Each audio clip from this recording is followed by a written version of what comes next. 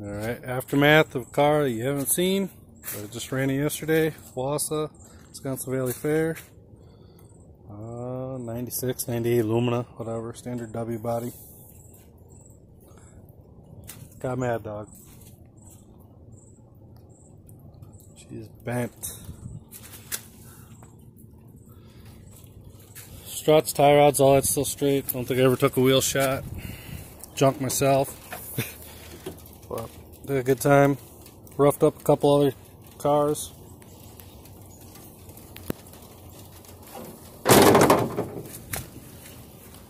Frame went into the tranny. I don't know if you can catch that. There's a hole up there in tranny.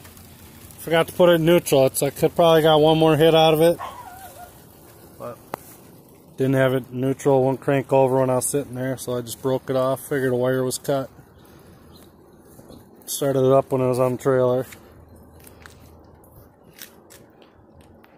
Sam took a few hard hits. Maybe more than a few. Ripped the tire right off. Oh, halfway through. I was three wheeling most of the demo. Thank God it was a dry track. Unlike usual. Everything blew apart. This ass was pretty rusty, you know, standard W body. Few hard hits to the side. Broke the welds on the cage after a while. It's only a three point cage, so if I would have had four, and probably would have been better, but oh well. I'm lazy. They held up mm, like nine minutes with six minutes of it all out driving. I don't know, seven, eight other cars. Four of them on a team.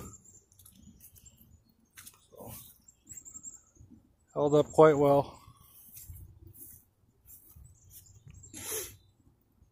Um, this might do my Camry right away too.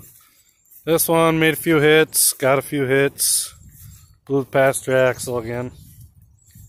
know what the deal is with this piece of shit. Throw another axle in it, run it somewhere else. Still runs. Blew tire. Um, plates and everything's fine. Frame's fine.